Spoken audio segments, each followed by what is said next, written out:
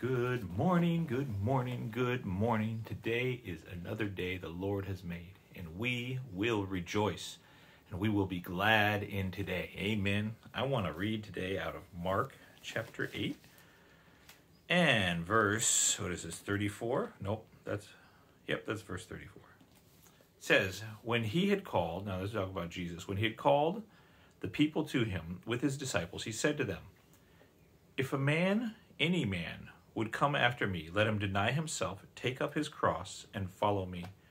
For whoever would save his life will lose it, but whoever will lose his life for my sake and the gospel's will save it. Whoever will save his life or try to save and preserve his own life, his own way of life. Whoever, I, I think this might be a little more uh, impactful. I don't want to say more impactful because what the Lord said is what he said, but but I could say, whoever will try to be master over his own life and salvation is going to lose it.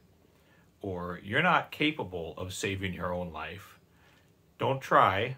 You want to give it over to who? Jesus, to the Lord, right? But whoever would lose his life for my sake and the gospel's will save it. For what does it profit a man if he gains the whole world and loses his own soul? That was kind of stirring in me. You know, you see a lot of the world. You know, if you ever heard, there's an old song uh, about the devil playing a fiddle against the guy. The devil went down to Georgia and they play a fiddle and stuff. And you've heard over the years these talk about you know, the, selling their soul to the devil and these, you know, these big uh, supernatural exchanges. And you're like, oh, well, that's just stupid and that kind of stuff. But it is, in a sense, what the the life of the world or the life our life on earth is.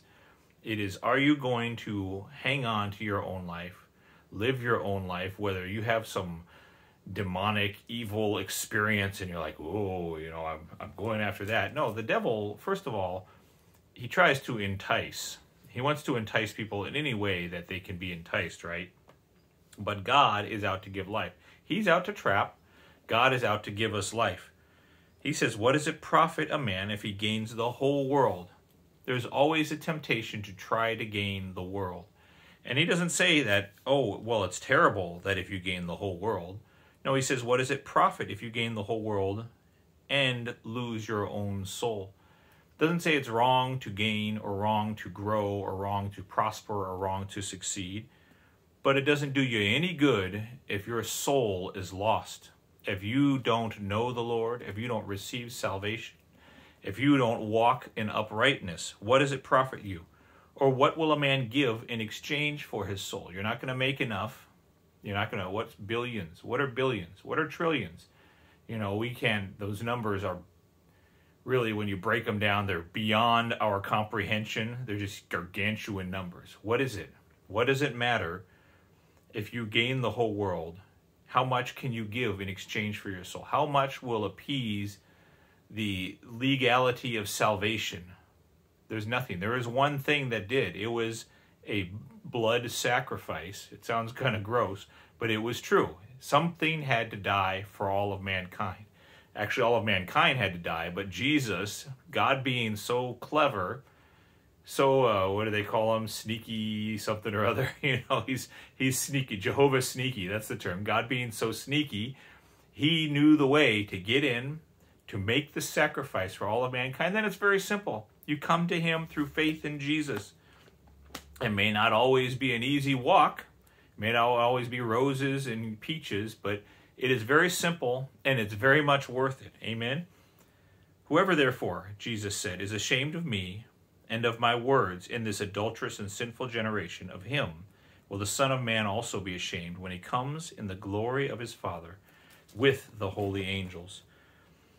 And then right along this line, you know, what does it profit a man? Well, in Proverbs 21 21, it says, He who follows after, what are we following? Not following after the gain, not seeking to profit the whole world, not seeking to cling to our own life. He who follows after righteousness and mercy.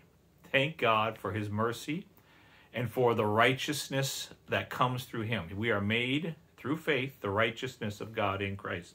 He who follows after righteousness and mercy finds life. What are you following? You're following righteousness and mercy, but you find life in doing that. You find righteousness and you find honor. I like this verse because honor there is the word kabod. It's the same one used for the heavy, weighty glory of God. It's also the same word that's used for honor, for, for like prestige, and it's the word that is used for money, for gold, for riches.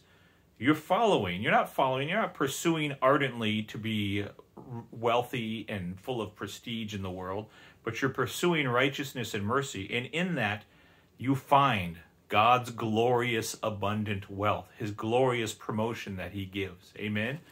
And then last, I won't turn there, but in Romans 1:17 and I think there's three other cases in the Bible where it says the just shall live by faith. The just shall what? Live by faith. Not just conduct our lives. You know, when you are made righteous in Christ Jesus, if you're pursuing righteousness and honor, we're pursuing God's way, we're living, uh, giving up our life, basically, losing your life for Jesus' sake, meaning you're giving up the control of your life, saying, Lord, I follow you and I do things your way. I'm not the master of my own life. I have my own sovereignty, my own uh, will, and I gladly follow after the Good Shepherd. And in doing that, I do it by faith. I act by faith, but I also receive life. I live by faith. It doesn't say the just shall die by faith or the just shall barely get by by faith. They will live, and I'll say, and thrive and have life super abundantly, like Jesus said he came to give by faith. Amen. Be blessed.